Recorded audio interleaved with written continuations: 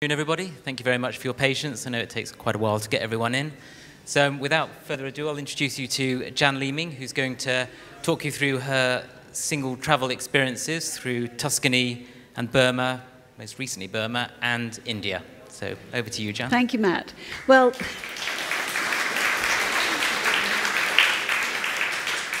Thank you, and thank you very much for your patience. And I'm sorry you had to queue for so long, but in fact, the people before me were the sponsors of the show, so we couldn't kick them out. and I'm also sorry that you've had to wait, but Elfin safety denotes that we can only have so many standing.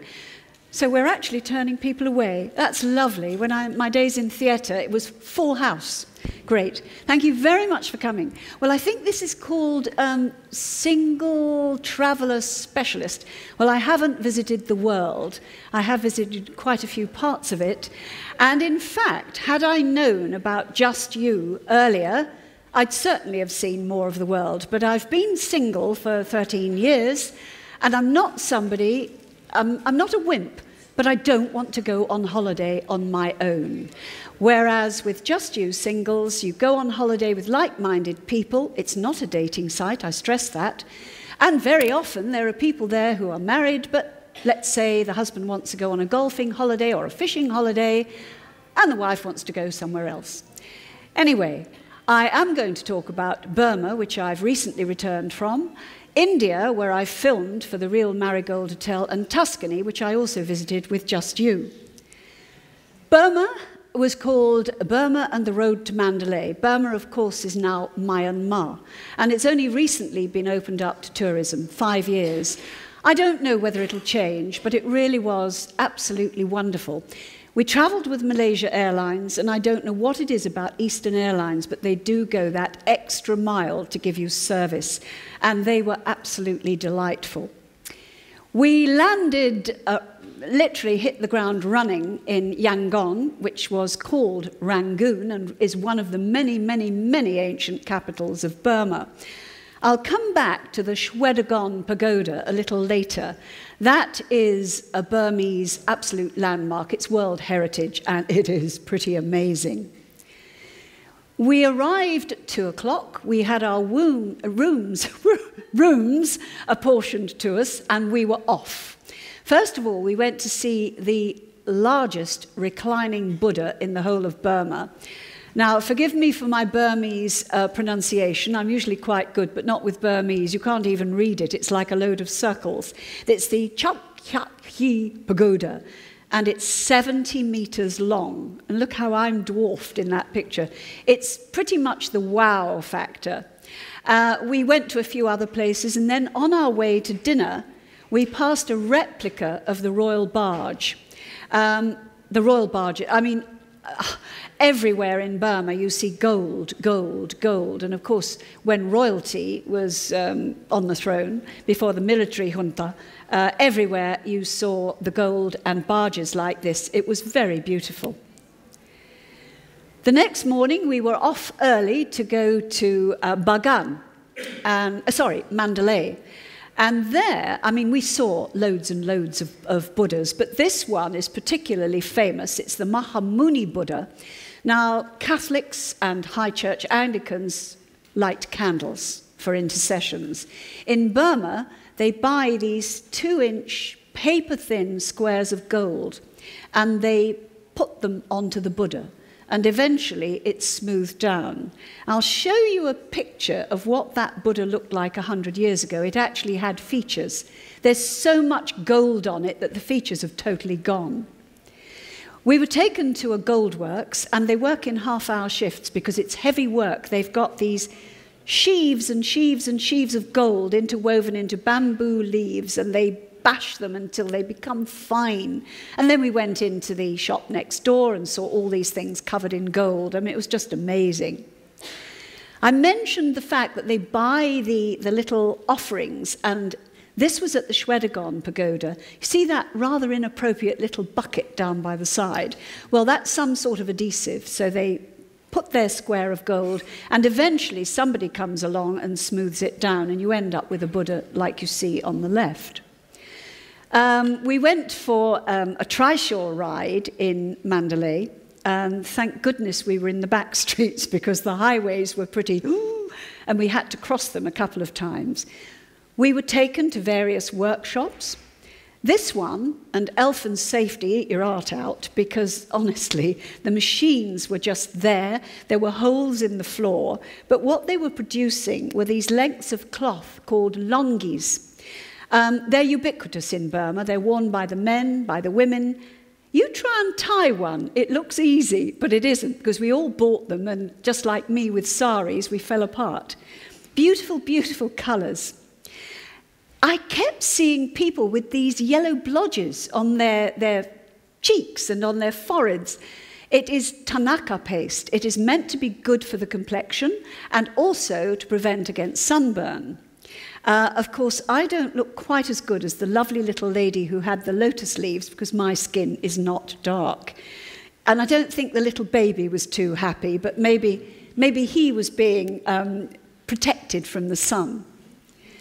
Ah, this was absolutely beautiful. It's the longest wooden bridge in the world. It's teak. It's across the Taungthaman Lake. The lake is quite shallow. That bridge is 1.2 kilometers. And we were taken there for a sunset uh, ride on a boat. Unfortunately, every sunset we were taken to see was bedeviled with clouds. However, it did make for beautiful photography. Um, we were on the lake, we had cocktails, and all of a sudden I noticed that our boat rower was signaling to the others, and we headed for the shore because the clouds were gathering and it was beginning to rain. But it was absolutely beautiful, and we did walk part of the way on the bridge. More Buddhas. We left early the next morning for a five hour coach drive to Bagan, another ancient capital. This snake temple is the Palyaki snake temple, and the Buddha is, well, I was going to say guarded, but I don't think the pythons do very much. They're asleep most of the time. But they are washed every morning at 11 o'clock. And that's as close as I want to get to pythons. Uh, when we got to Bagan, we had a horse and cart ride around Old Bagan, where there are over 4,000 temples, and stupa. These are just a few of them. Everywhere you go, you see the gold. You wonder where it all comes from. Actually, I preferred it where the jungle was reclaiming its own. That I thought was lovely. It had an element of peace about it. Very, very beautiful. More Buddhas, big ones. What's that old song? Big ones, small ones, some's bigger, whatever, whatever. And in that temple, there were 24 and on the opposite wall were all the plaques of all the people who donated, either asking for an intercession or just donating for the upkeep of the temple. And if you can see down the bottom of the big Buddha, that will give you some idea of the size. And there's just a sort of wooden shed around it. I think in the old days it would have been out in the open, but now with all the gold, etc., and mm, people are maybe not quite as honest as they used to be, so it is enclosed. Uh, we went to a village in the mountains called Kalaw. Now, I tell you what, when you go on a Just You experience, it's not a holiday, it is a voyage of discovery. You see so much. And on that particular um, trip, we got up at four o'clock in the morning, I think five times, but it was worth it. You, you don't really feel tired because you're seeing so much. We did actually have a couple of hours off. And our tour guide said, um, There's another temple I thought, oh, another temple? Uh, but he said, it's carved into the rock and there are hundreds of Buddhas. I'm glad I went. So the cave is dripping wet, and every temple you enter, you must take your shoes off. We had extremely clean feet. Uh, and outside, well, you can see how small I am, a sandwich between the Buddha and a Buddhist monk. Well, this was something that none of the other tours did. We were taken for lunch in a Buddhist convent. But when you go, you take a gift. Usually it's fruit or flowers or a cake or bread. And we were taken to a market to buy our offerings, and I'd bought some rice and some fruit, and then I saw these rather attractive leaves. So I, sign language, because of course I don't speak Burmese, said I would like some. And the lady got a plastic bag, she put the leaves in, and then she put a bottle in, and then she put something else in, and and, I, and then she gave it to me. No money, it was a gift. And when I got back to the coach, we not only had an English tour guide, we had a, a, a Burmese tour guide who was great fun, especially after lunch and a few tiger beers. And uh, he laughed.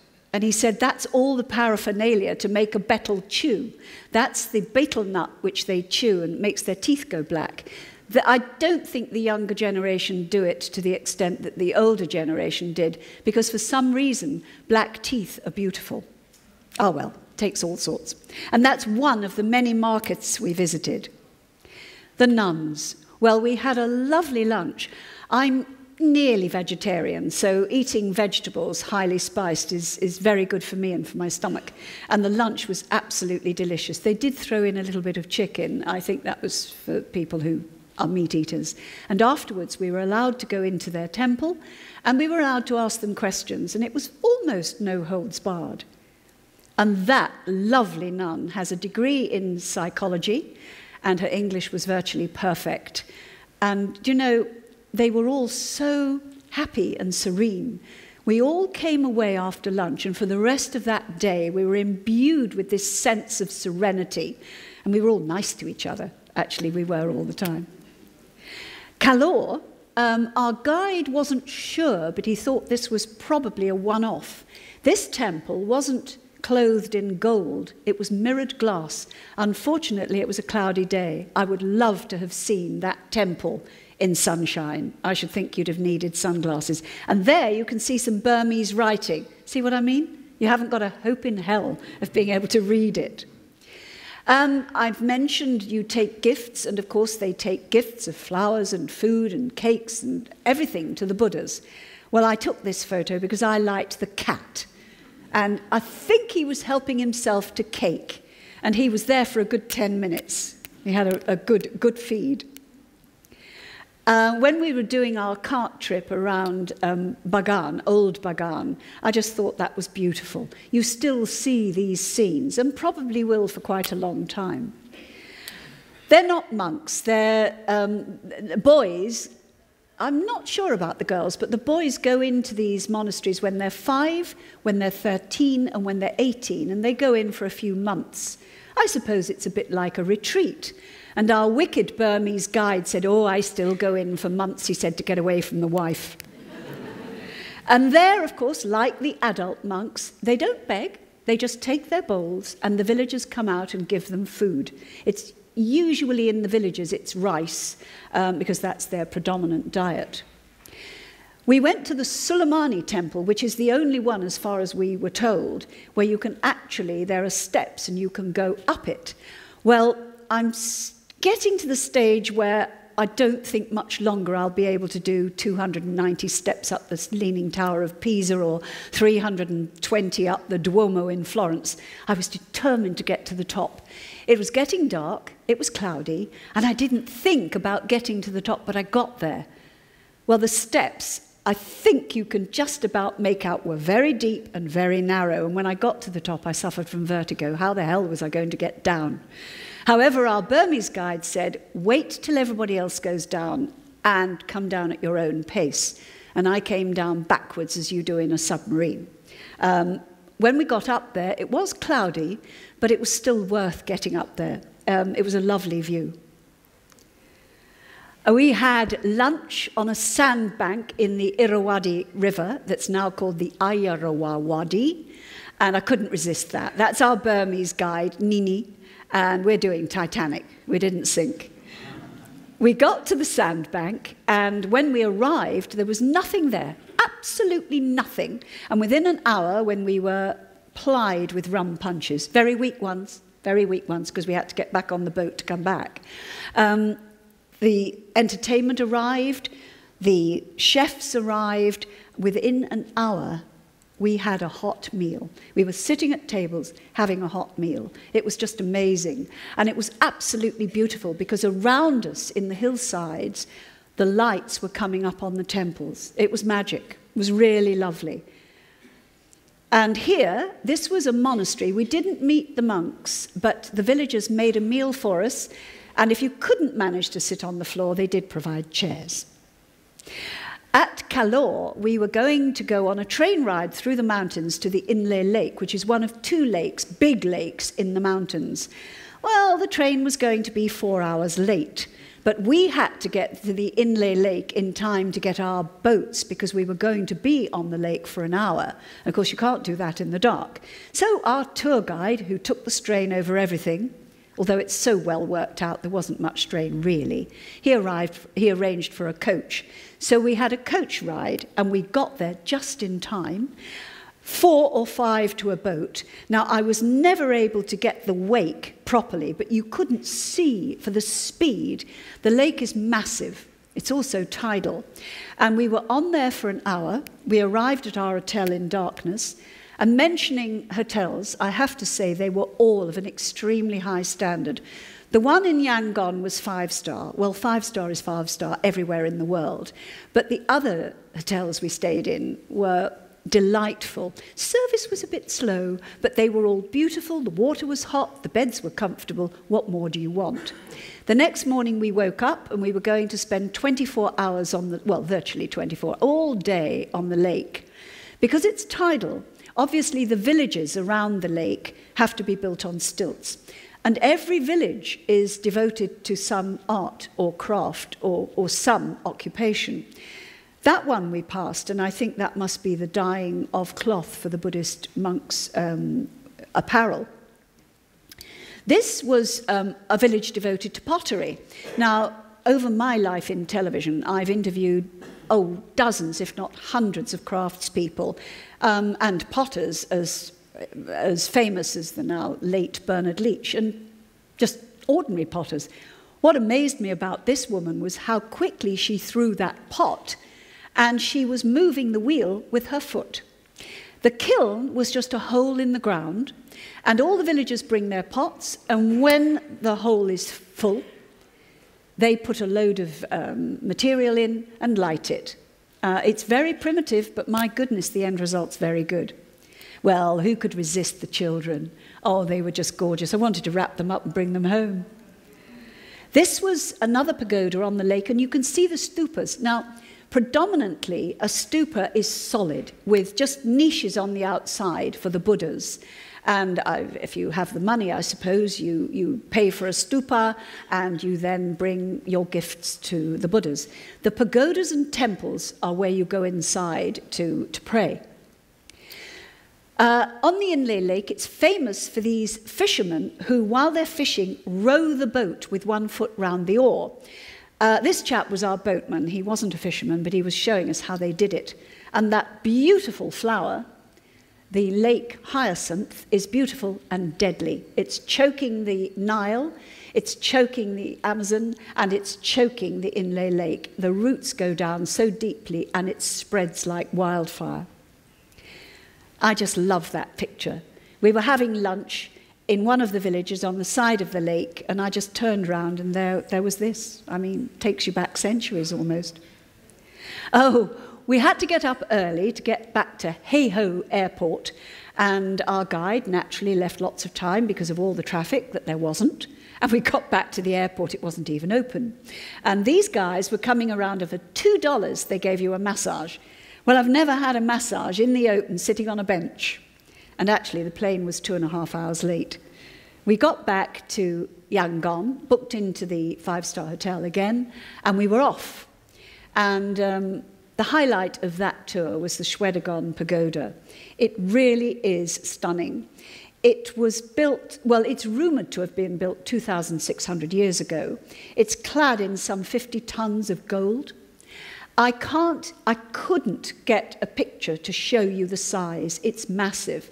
And at the top, the umbrella now, if I remember, it's got something like 5,360 uh, special stones, rubies, emeralds, diamonds, and at the very top is a 75 carat diamond. What a waste. Mind you, whose hand, whose woman's hand is big enough to take a 75 carat diamond? Not even Elizabeth Taylor. Uh, now, there was a bolt on four days at a beach. Um, I didn't do that, but Sarah, with whom I made friends, did. Naughty girl. She sent me this one and said, Sunset at last at Ngwe Saung Beach. So that is a very quick trip round Burma because I've also got to take you to India and Tuscany. But it really was an amazing experience, and I felt I'd got a flavour of Burma. Five years into tourism, no beggars, but the hustlers, um, they'll follow you from temple, temple to temple. And somebody said, Jan, you've got mug written there. Because I would say, oh, I, I, thank you, but no, it's too heavy. I can't put it in my luggage. I might have been saying, yang chow mang And I ended up buying things. Just, just, it wasn't the cost. I mean, everything was so inexpensive. I mean, even the meals out, many of the meals were included in the trip. But one evening I had a nasi goreng, which is of Dutch East India origin. That was $7, and my drink was $7. I mean, it was just amazing. And you can buy some beautiful things very inexpensively. India, well, that, of course, I visited uh, when we made the Real Marigold Hotel India series. But Just You does three tours to India. They do an eight day tour around the Golden Triangle, which is where we were Jaipur, Delhi, Agra. They do Spirit of India, which is 13 days. And you know, I met somebody on the stall today who did that and actually saw a tiger at Ranthambore. They don't guarantee the tigers, but she said they did see one. Uh, Kerala is southern India, a taste of Kerala, and that's 12 day tour. Kerala is where I'd like to go because my father was born in southern India in the Nilgiri Hills. Well, I couldn't start a talk on India, could I, without the Taj Mahal? I'll come back to that. Jaipur. That's where we stayed in a Haveli. I'm glad we stayed in the old city because um, the Haveli was really lovely and the family who owned it were just so welcoming. The Pink City, I'd call it terracotta, but they call it the Pink City, founded by Jai Singh in 1726 and decorated in 1876 in this colour to welcome the Prince of Wales, who became Edward VII. Why they decorated it for him, I don't know. Look at the height of the gates, and that's to accommodate the elephants. Old, there's new Jaipur, which has department stores and high-rise buildings and dual carriageways. Once you go through those gates, you're into Old Jaipur, and you see beautiful architecture like that, the Palace of the Winds, it's not a palace, it's a facade onto the main street, so that the women from the Zenana could come, without being seen, of course, and then watch the parades. And on the you see these wonderful spice stalls by the side of the road, everything and anything. But you also see that. And the cows, the goats, the pigs scrabble amongst it. One thing I have to say, though, there was no smell. I really expected it to stink, and it didn't. Don't ask me why. Sushma, our beautiful hostess, I noticed she boiled her milk every day. And that's probably because you don't know what the cows have been grazing on, but the milk was very nice. That's the Amber Fort. It's one of, um, well, it is the main uh, highlight of Jaipur. It's called a fort, but it's also a palace, and it is pretty stunning. If you look in the background, you see all that beautiful decoration. Well, the Maharajas were extremely rich, and they went on tours, and they fell in love with the frescoes in Italy, and they were rich enough to bring back Italian fresco painters to decorate their palaces. And the amazing thing is, I mean, that was 16th century, and most of this has not been retouched for 400 years. There, look at that. I had to take that picture. I think they were just visitors. Um, I mean, they looked Chinese to me, Japanese. But look at the beautiful decoration behind them. In the uh, Amber Fort, there's a hall of mirrors, and we were told that you light a candle, you to get a thousand lights. Unfortunately, you can no longer go inside it because tourists were helping themselves to the bits of glass. I wish I could have gone inside. That was the nearest I could get, but it was very beautiful. And I could imagine a single candle lighting a thousand lights. Now, this you didn't see in the India series. We spent two days traveling to Karauli. There's an old palace going back to the 13th century, and the 16th century frescoes I couldn't believe. Look at the colour. I mean, just look at it. And they're, they're trying to renovate it and the Durbar Hall uh, in order to be able to take tourists around it. But we had a, a sort of first glimpse. And you might just come across a snake charmer. And of course, in India, to the Hindus, the cow is sacred. Everything gives way to the cow. And even on a dual carriageway, if the cows are crossing, you stop.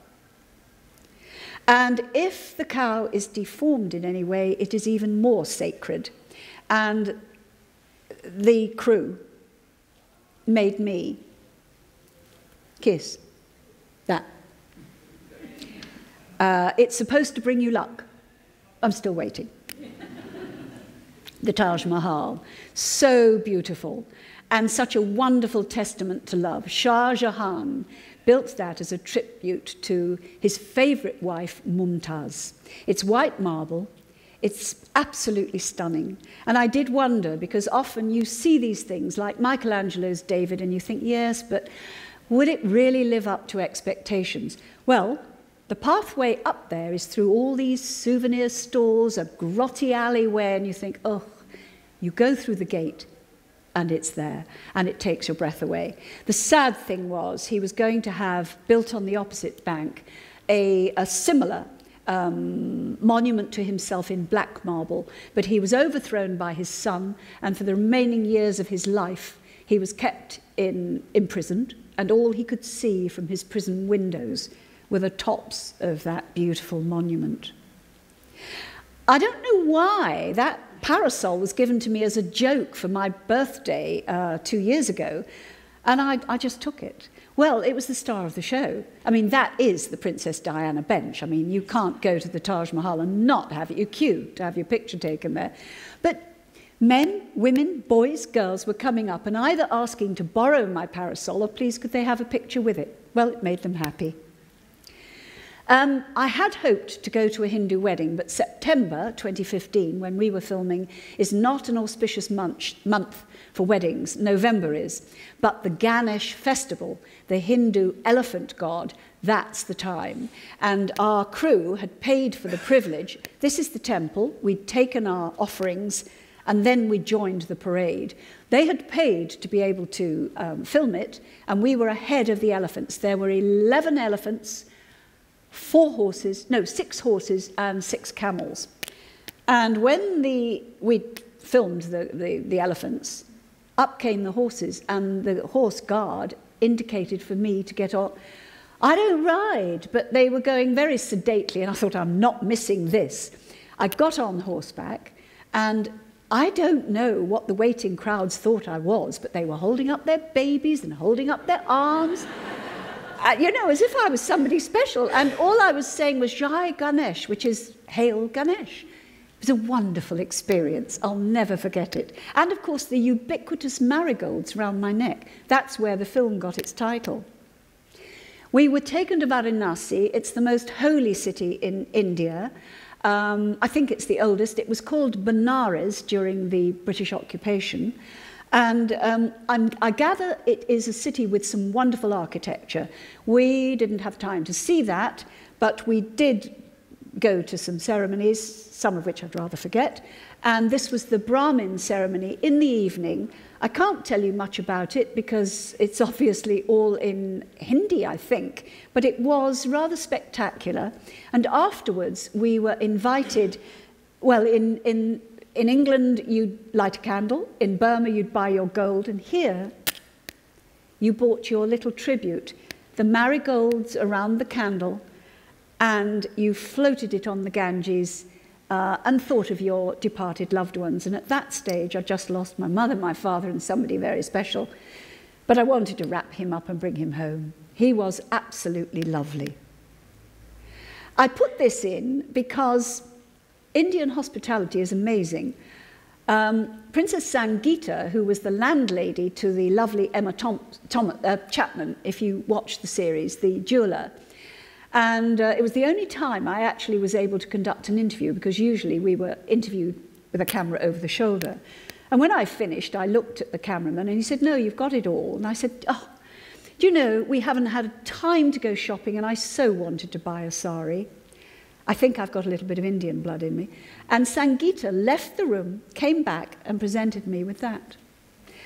Sushma, our hostess at the Haveli, showed me how to put it on.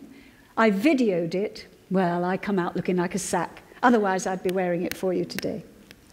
And I had to take a picture. This is one of the tuk tuks. No girlfriend, no tension. Highlights of Tuscany. When I joined Just You as their ambassador, that was the first um, trip they sent me on. I've seen the highlights before several times, but to go on this trip and have every, well, you know the old uh, let the train take the strain. Well, here you just let the guide take the strain, if there is any. And I have to say, Just You has a 24 hour duty officer. So wherever you are in the world, uh, if the tour manager can't sort it, there's the duty officer who will sort out illnesses, anything. Uh, it's very comforting to know that. So, in the Catholic religion, you are born with original sin, and it has to be washed away before you can enter the church. That's why the baptistry, which, where you're baptized, where your original sin is taken away, and then you go to the church. We went into the baptistry and it was stunning, and the acoustics were out of this world. We knew that, uh, I think it was on the hour, they shut the door. We'd gone up high, and quite frankly, I thought it was the 16 singing a cappella. It was one guard. It was incredible. It must be fantastic to go there to a concert. San Gimignano is on a hillside. And in the old days, the rich showed their richness by building upwards because they couldn't build outwards. The Medicis took paid to that, and only a few of the towers are left. But it is pretty stunning. Now, that's the square, and you can see that once upon a time, all those houses would have gone up and up and up. But of course, they had to take the towers off, so that's what you've got left. The square is absolutely lovely. They boast that it's the best ice cream in the world, but not being an ice cream eater, I can't really say. I just thought those, against that incredible sky, it was, it was delightful. Siena, well, I'd been there before. That's the, um, the square uh, where they have the Palio. It's a race that's been going on for centuries. And I'm glad to say, for once, elfin safety comes into its own. Because in the, the old days, I mean, that's cobbles. And they just put down, I don't know, rushes and sand, and many horses got killed. Uh, it doesn't happen anymore. I tell you what, though, unless you can afford a thousand euros to be seated around the outside, I wouldn't want to be in the middle, because I've seen pictures of that, stuffed full of people. Eight hours? Well, I couldn't. I, I couldn't stand for eight hours. I really couldn't. It was, um, it was a great visit. Now, I had seen Siena Cathedral when I did an Open University course in 1974, but as we came round the corner, none of the group had been there before, and there, there was this communal, oh, and it is pretty incredible black and white marble. And if I can have a moment of indulgence, I love the sculptures of Donatello. When I first saw Siena Cathedral, tucked away in a dark corner was this it's wood. Usually he worked in marble, but this is wood and it's Mary Magdalene. And the first time I saw it, it made me cry. It's now in the Duomo Museum in Florence. The Duomo.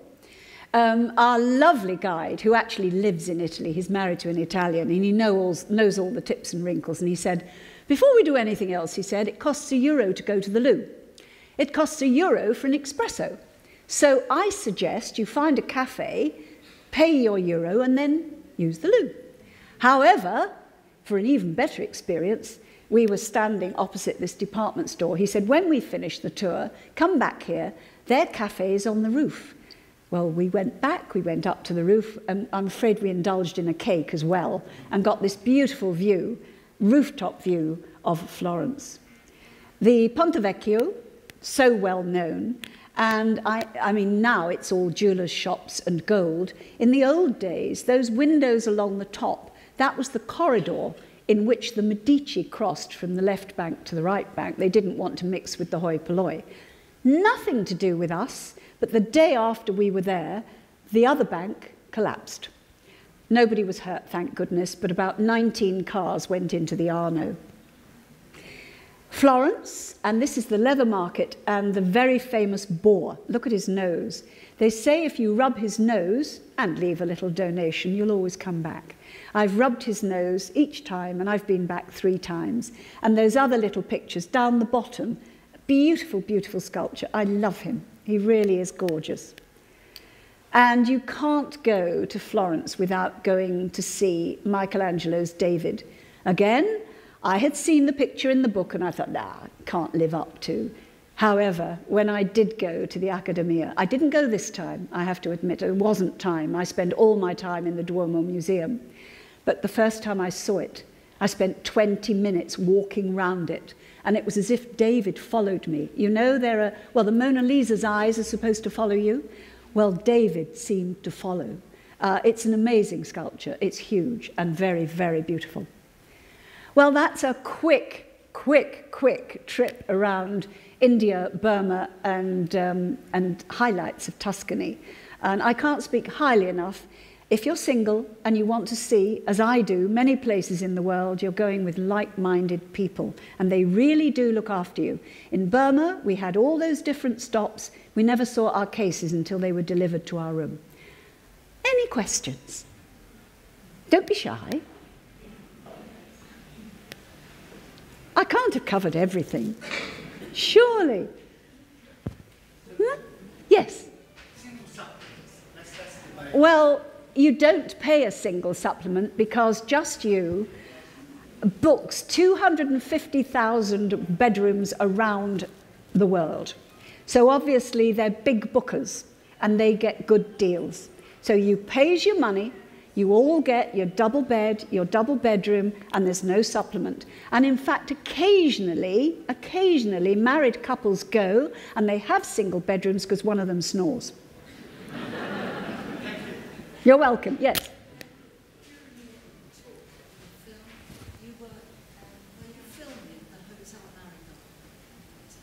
Um, I think the lady is saying um, when we were in India filming, it was for the real Marigold Hotel.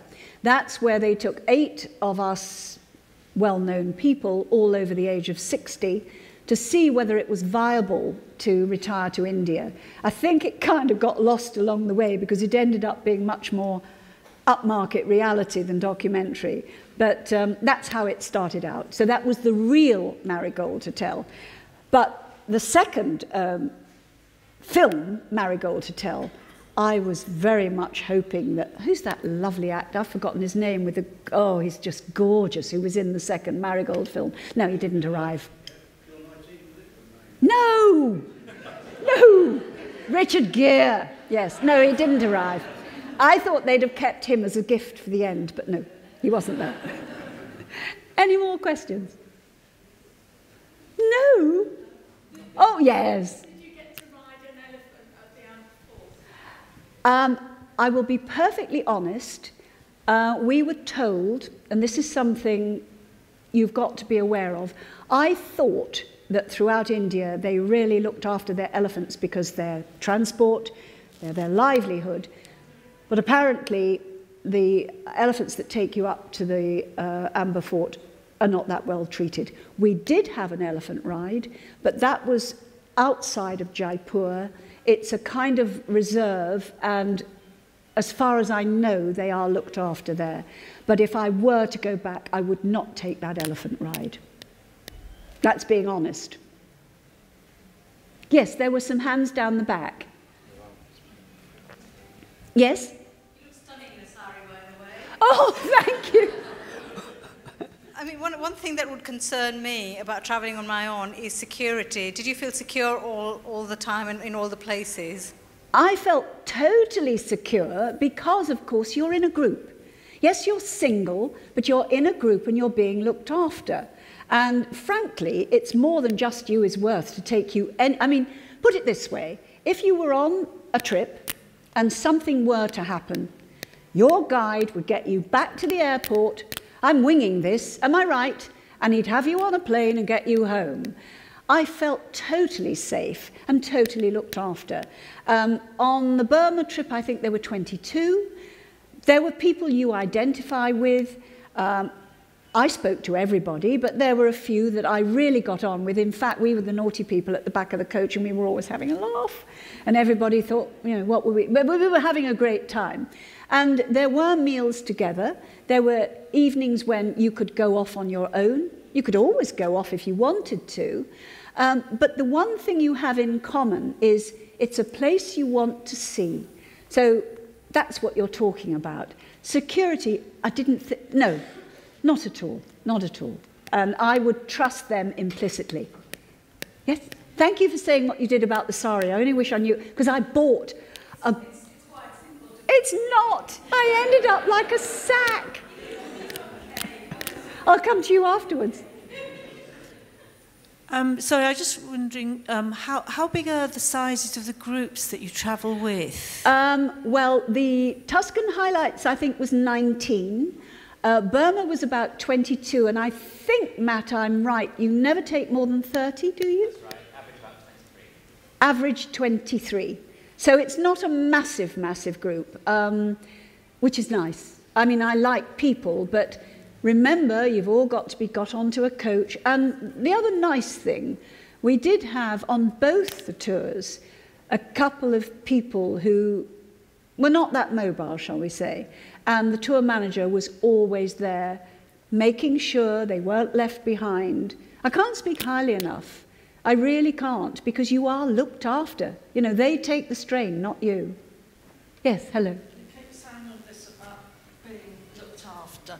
I, I went uh, last November to Borneo with, with Just Go. The, the holiday content, everything was wonderful. The tour manager apparently wasn't the one that we should have had. That one couldn't come. The group seemed to have their own ideas about what they wanted to do. Um, I asked them what they were doing in the evening when there wasn't any meals, and I was told. Did you say it was with just you? This was just you. Oh, my first well, I, time.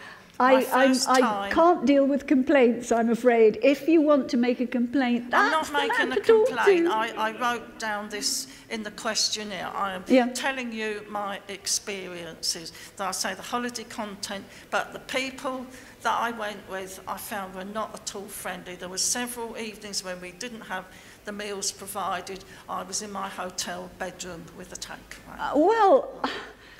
I don't know how to answer that one. And I wasn't given special treatment. I wasn't given special treatment. Well, that's, I think, I think, Matt, um, very unusual and very unfortunate. And I, I'm very sad to hear it because, yes, I, I'm, you know, I was just with very nice people. All right, I didn't identify with all of them. Whoever does? But I found my own level and um, I went with two people that I particularly liked. I'm so sorry. I want to go again with just you, because there's the Laos and Cambodia yes. trip that I would like to do. I went with another couple to um, uh, Vietnam, but I didn't see Angkor So I would like to give it another go, you know, to just maybe... Well, I suggest you go to the Just You stand and have a word with, with Matt. But I, I mean, I, perhaps I was just lucky. Um, and I can make my own sort of way.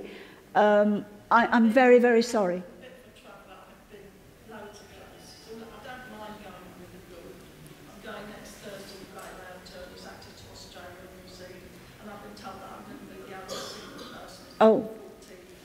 That's not bothering me press you out to the experts yes. Oh, well, I'm so sorry. I really am. And I wouldn't be standing here.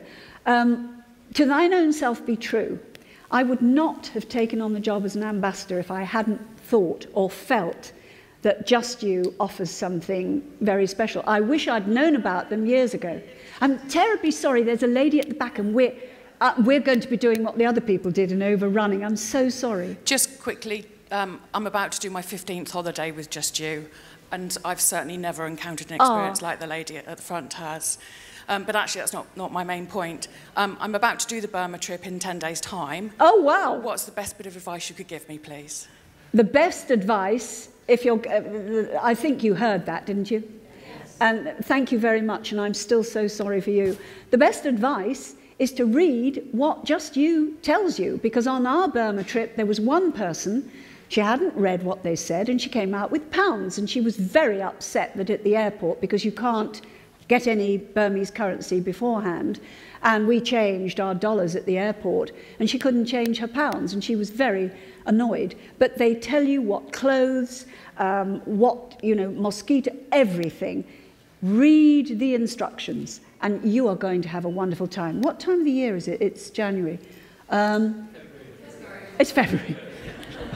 I didn't know what time it was. You're going to have a fabulous time. And if you get Graham, give him my love. He was our tour guide. Okay.